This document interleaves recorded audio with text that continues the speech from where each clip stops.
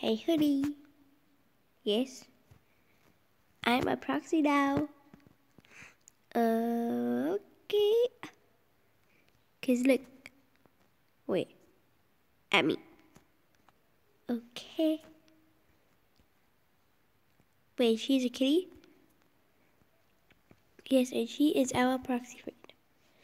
Okay. Let's talk to Cindy. Okay. Ugh. Why do I have to do this?